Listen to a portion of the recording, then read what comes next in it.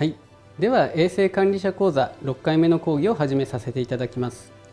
はい。えー、今回は衛生基準関係法令の中の、えー、事務所衛生規則について学習していきます。はい、前回は炊事場ですとかお手洗いですとかといった規制について学習していきましたが今度は、えー、労働者が働く事務所内のルールについて見ていくことになります。はい、でまずそのうち1つ目。軌跡についてと。いう部分を学習していきます。で軌跡というのは、えー、労働者1人当たりに必要とされる容積を軌跡というふうに呼んでおります。この規則の中でこのように規定しています。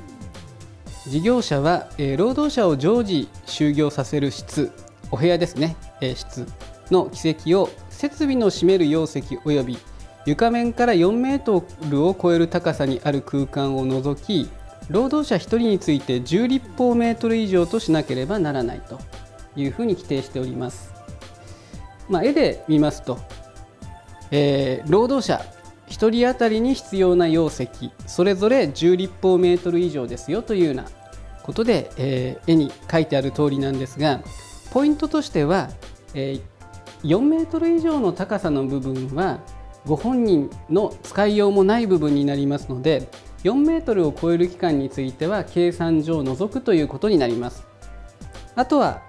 設備の占める容積というのも除くというふうに記載がありますけれどももう設備例えばですね、えー、パソコンが置いてあるとかあるいは大きなですね何か、えー、ケーキケーキってこう例えば棚とか置いてあるような場合はそこも労働者が使いようがありませんのでそこは除いてくださいということになっております。4メートルを超える高さの部分ともう設備が置いてある部分はこれ労働者が使いようのない部分ですのでそれを除いた上で1人当たり10立方メートル以上にするようにするということが求められています。はい、続けて、えー、換気に関するルールこちらを見てまいります。えー、事業者は窓その他開口部分の直接外気に向かって開放することができる部分の面積が常時床面積の20分の1以上になるようにしなければならないということが求められています。床の面積に対して窓の大きさが20分の1以上じゃないとダメですよということなんですがここで試験問題で問われるのは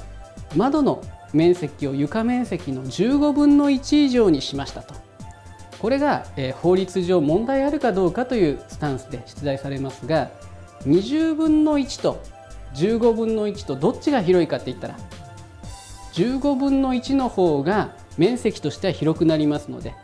20分の1以上の中に15分の1も含まれますので試験問題20分の1のところ15分の1というふうに置き換えて法律上問題あるかないかという形で問われますけども問題ないということになりますので注意してください。単純に20と15比較して15の方が数字がちっちゃいからと。いうことにするんじゃなくって切り分け方がね大きく切り分けられるわけですから15分の1で OK というふうに問題は捉えていただければと思います。はい、続けて、えー、温度、えー、これはあまり部屋が寒いと労働者の方が、えー、仕事する上で支障が出てきますのでえ気温が10度以下の場合については適当な温度調節の措置を講ずることが求められているということになります。まあ、屋外であればこれもしょうがないいじりようがない部分ですが事務所の部屋の中ですのであまり寒いと労働者の方が、ねえー、病気になってしまいかねませんので10度というところを下回ったらきちっと暖房をつけるなりの措置が求められるということになります。